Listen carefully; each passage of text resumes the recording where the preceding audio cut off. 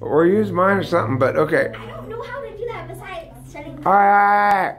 Look, so here's what we need to do. First of all, I will answer your question in a second, Winston, but I want to address this. What are the first thing we're going to do on this case? Henry, you do it and then save the uploaded version so I know it's done properly. Please, I want you to get rid of number five on B, the fifth subpoint. The negation means. Okay. And then put cut it out of the roadmap and then cut the card out of the case and put it down into the extensions part. Um. Okay. Uh. I. It will take some time. I know, it'll take a second.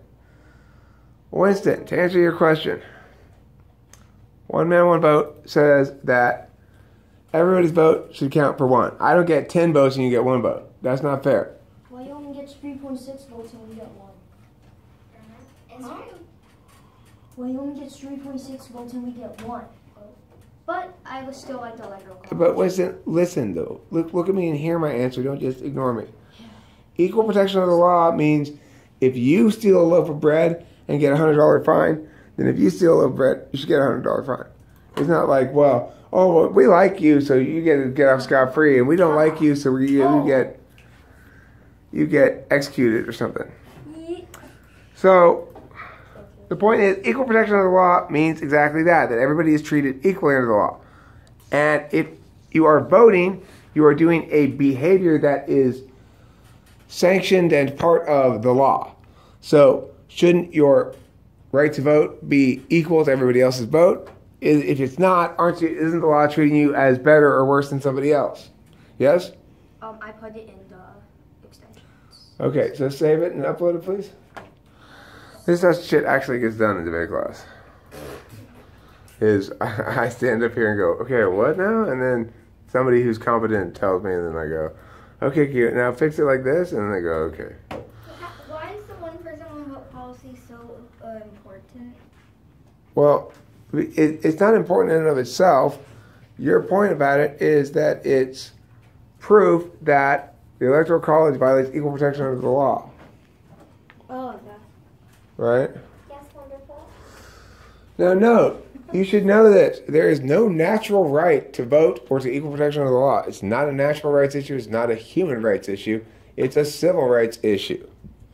Civil rights are a little bit different than real rights. That's wonderful to know that we don't have real rights. Real rights are natural rights, and those stem from uh, uh, are or are deduced from self ownership. It's they're logically necessary, whereas these things are approximations of what we want, approximations of our values. Okay, so now next I want you to do read, read contention level stuff Uh, on the roadmap. rights protection is law's top job. Two, as status quo legality. Three, sub sub point two A, electoral college. Sub point two B, elect equal protection. Sub point two C, conflict. Sub point Okay, all right. So look, take out conflict and move that card as an extension. That, that third subpoint or whatever. Yeah. You have to edit it from. Let Henry do it. Let Henry do it and upload it. And as we're not messing around with figuring out who's doing what, just one person do it. Go ahead, Henry. That's called good TE there, Eric. If you have good TE, you don't explore the possibilities of multiple people doing multiple confusing things. You just go like, Henry, do it, please. If we take out conflict, so we have to take out the two subpoints under conflict. What are they? Small state unfairness, one person, one vote.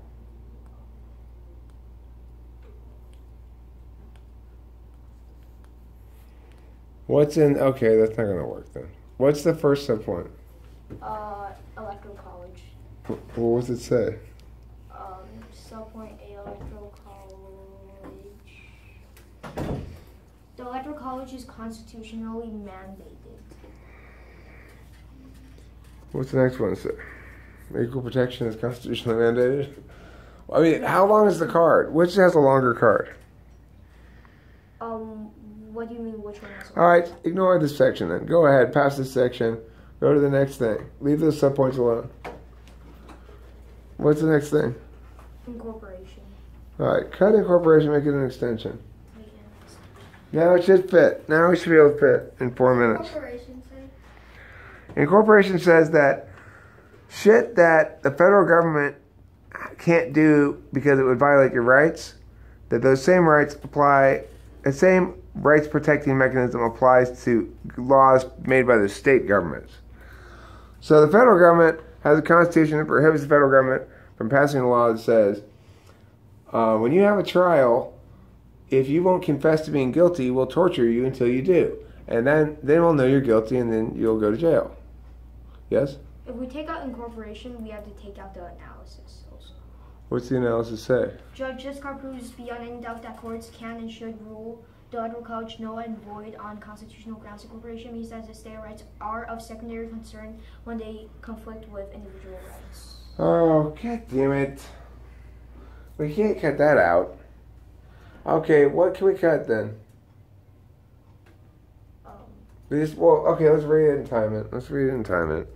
Somebody read it out loud and time it, yeah. And I'm gonna stop this video now. I choose It- Alice and she reads fast. I don't want to share our whole case or everything with anybody, but the point is, I wanted to show a little bit in this video about how shit actually gets done in debate class.